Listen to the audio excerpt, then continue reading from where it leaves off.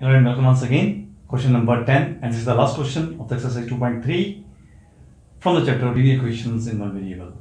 So the question is 3m is equal to 5m minus 8 upon 5. So variable, this is a variable here, this is a variable here.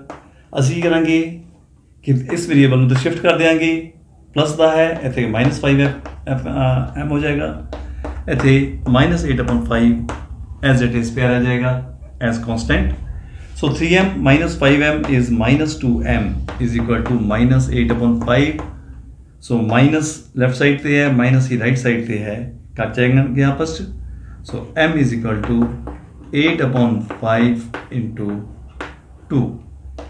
ठीक है जी to जरा आएगा division करेगा इसकी।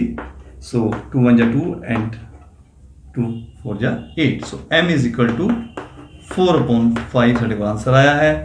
ना let's verify eight so left hand side three m है five m minus eight upon five है right hand side से so m is equal to four upon five परंते ठीक है जी तो putting the value of m in the left hand side so आ जाएगा सा को three into four upon five so this is equal to twelve upon five three into four is twelve upon five so इस तरीके m is equal to four upon five नू पर कितने भरना है? Right hand side so five sorry five into m था लिखना four upon five minus eight upon five five ना फाइव कट जाएगा। So let four minus eight upon five और four into five is twenty minus eight upon five which is equal to twelve upon five so अभी देख रहे हैं कि left hand side right hand side पे बराबर है। So left hand side is equal to right hand side hence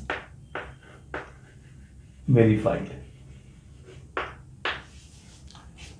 so उम्मीद करता कि सब तुम समझ आ गए होने हैं। So and I wish you every happiness in your life at the same time do encourage us by sharing the videos and getting subscribers for us. So thank you very much for viewing this video once again. Thank you